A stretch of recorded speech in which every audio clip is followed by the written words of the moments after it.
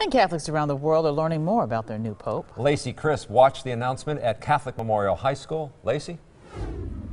Well, students here were pretty young when Pope Benedict was installed, so they're excited to have a new leader. They tell me they hope he can modernize the church.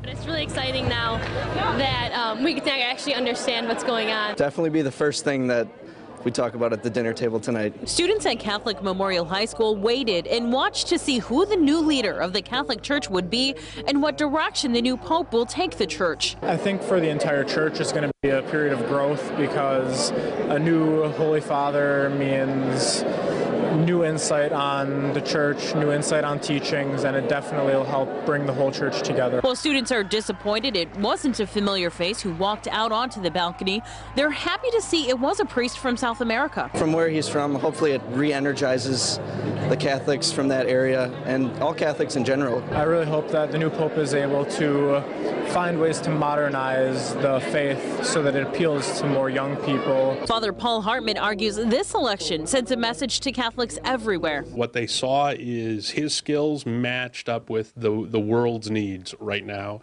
And we have to trust that the Holy Spirit kind of pushed him to that decision. Students and Father Hartman hope the new Pope will make a U.S. visit as soon as possible. I would assume that at some point we'll see him. Every Pope now in modern era wants to do some pilgrimages, some apostolic travels.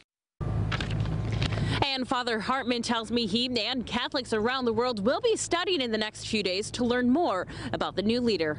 On your side live in Waukesha, Lacey Crisp, today's TMJ4. All right, Lacey, thanks.